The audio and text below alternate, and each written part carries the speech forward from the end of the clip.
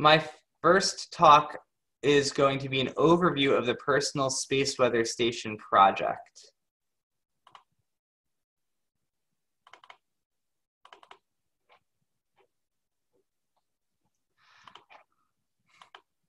So in addition to the Auroral connection, HamSci is also funded to develop something called the Personal Space Weather Station, and we're funded to do this through the National Science Foundation.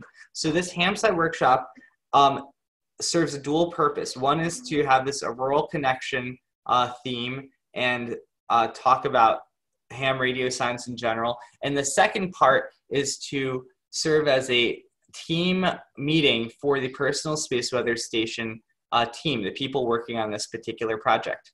So I'm going to do in the next uh, 10 minutes or so is just give an explanation, an overview of what this project is, and a general project update.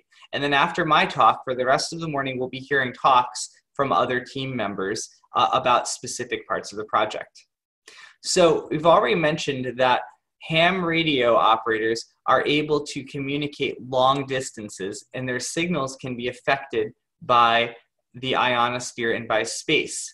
So how exactly does that work? So over here on the left, these are frequencies that ham radio operators often use. Uh, I especially have a particular interest in these HF frequencies between three and a half and 30 megahertz. Other people have more of an interest in maybe medium frequency and low frequency bands. Other people might have an interest in high frequency bands, but they're all affected by the ionosphere and the atmosphere and other effects in different ways. So if we look at the HF band, ham radio operators routinely use HF and VHF transionospheric links. What does that mean? Well, uh, the ionosphere is a layer of the upper atmosphere where you have electrically charged particles uh, moving in, in what's called a plasma.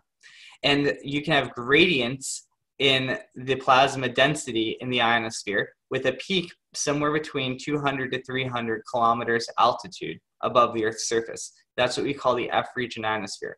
Ham radio operators will often use roughly 100 watts into a dipole antenna. This is a fairly modest station, and you can see we have a number of different modes. We can use digital modes, like FT is very popular these days. You can use uh, Morse code or CW. We also have a single sideband phone. Uh, if you have a transmitter located in one place and a receiver located in another place, uh, you can do, you can have um, what we call, this is a ray trace diagram using 14 megahertz. You can have that signal go up, be bent uh, or refracted by the ionosphere, and then come back, back down and reach that signal. Anything that happens in the ionosphere will modulate or cause an effect on this signal that we can see over here. Uh, also, you have to have the frequency that in op- the frequency that you're using be just right in order to get this sort of refraction. If you go too high in frequency, you'll escape into space. If you go too low in frequency, you could be absorbed by the ionosphere for a particular uh, ionosphere. So there's a lot of things, but the basic idea is you get this refraction of the signal. Um, how is the ionosphere created? The to a to the most basic level, the ionosphere is generated by uh, X-ray and ultraviolet energy from the sun hitting the upper atmosphere and ionizing neutral particles, meaning that you're knocking electrons off of neutral molecules and atoms, and those electrons are now just free floating and they have a negative charge. And then you also have positive ions left over. And they mix, they, they work together. Um, during the day, you have a stronger ionosphere because it's constantly being driven by the sun, and you often have more layers during the day. At night, you have less layers. Uh, things, the electrons, they'll recombine. Uh, you don't have the external drivers as much, but it doesn't totally go away. This is a simple day-night relationship of the ionosphere. Um, we're going to skip that in terms of time. Where do ham radio operators get their data right now? Uh, we have some very nice observation networks right now that you can use. This includes the reverse beacon network, which is monitoring Morse code, WSPRNet, which is monitoring uh, the weak signal propagation uh, network. We have PSK Reporter, which is monitoring FT8, and um, PSK31 and other digital modes. And so these networks are great. They're quasi global, they're uh, organic and community run, and they provide a good picture of what's going on uh, in ham radio data.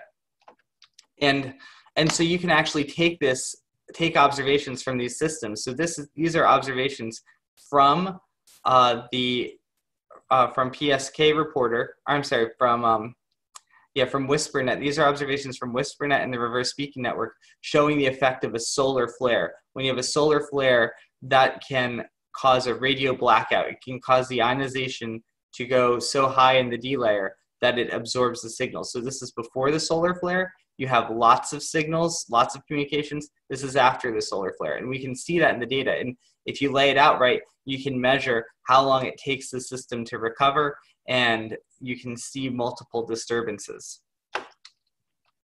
Uh, we can see traveling ionospheric disturbances. We'll be hearing more about that later today in Diego's talk. And here you have these wave-like structures that move through the atmosphere. So here you can see this is 14 megahertz band. This is how far away you can, you can communicate with respect to time using uh, WSPRNet and RBN observations, and you can see these wave-like structures move through here. So you can see all of this in the ham radio data we have right now. These are examples of Doppler shift observations uh, taken during the eclipse. So here you're listening to WWV near 10 megahertz, and you can see that as uh, daylight comes uh, and the ionosphere becomes more dense, you get these positive Doppler shifts. As night comes, the ionosphere recedes, you can get these negative Doppler shifts as the path length increases. And here, this is taken during the eclipse. You can see the effect of the eclipse on here as well. So you get all these different effects. So this is all great, but the ham radio receiver networks we have, they weren't designed for science. So we could create a network. What if we could create a network of personal space weather stations that were designed for both science and ham radio from the ground up? And so that's the idea behind the HamSci Personal Space Weather Station project.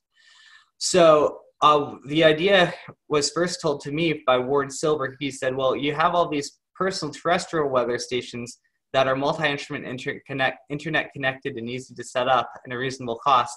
Can we do something like this for space weather? And that's where this idea came from. We want something that can be useful to ham radio operators, useful to space science and space weather communities, have a modular instrument design, um, small footprint, nice user interface, and uh, standard format to send data back to the central repository. And so that's what we have over here. This is a block diagram for what we think, what we're planning the personal space weather station to be. At its core, there will be some sort of software-defined radio, uh, which will hear which that is what TAPR is primarily designing the Tangerine SDR. And this software defined radio should be capable of monitoring all the things we just saw with RBN and PSK Reporter and WSPRNet. It should also be able to characterize HF noise, uh, have be able to possibly detect lightning, detect traveling atmospheric disturbances. It should be very stable using a GPS disciplined oscillator. Uh, we'll have a single board computer to do the processing, send it back to the internet. So that's the, that's the basic idea. We actually are going to have both a low cost and a uh, performance-based uh, personal space weather station. Case Western Reserve, we'll hear from later. They're developing low-cost station. Um, TAPR is developing the Tangerine SDR uh, performance-based station. Uh, we have a number of teams. These are the different teams we'll be hearing from today. I am Nathaniel Frissell at the University of Scranton. I'm happy to announce that we have just uh, hired a postdoc, Dr. Dev Joshi, who will be working with us on working on the radio science. He'll be starting in May. Uh, University of Alabama, they are designing the software and the database. Uh, TAPR and uh, Zephyr Engineering, they are designing the performance-based uh, software-defined radio, the Tangerine SDR, and they're also doing the ground magnetometer design. Case Western Reserve University is doing the low-cost system. New Jersey Institute of Technology is supervising the magnetometer science, and the MIT Haystack Observatory is uh, providing additional uh, scientific analysis and advising on the project. So we have all of these people involved here. Uh, we are well on our way in terms of progress. We already have mock-ups. There are some boards um, already in place, you can get the specification documents at tangerinesdr.com, and we will hear from each of these team members that will give the, their own updates. So thank you very much. Are there any questions? Do the panelists have any questions? Okay, no. Any questions or comments from the attendees? Well, th there's more than one that has come in. Alex Christ here just asked, are there cost targets defined for the low cost and performance based stations? Uh, yes, roughly we'd like the low cost to be sub $100 and the performance space to be around $500.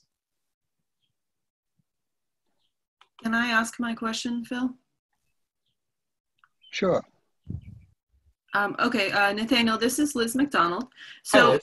I was wondering how um, large those databases are already, if they're gigabytes or if you have any number on just, I'm just curious, um, the total amount of data that's already built up or the rate per year, that sort of thing.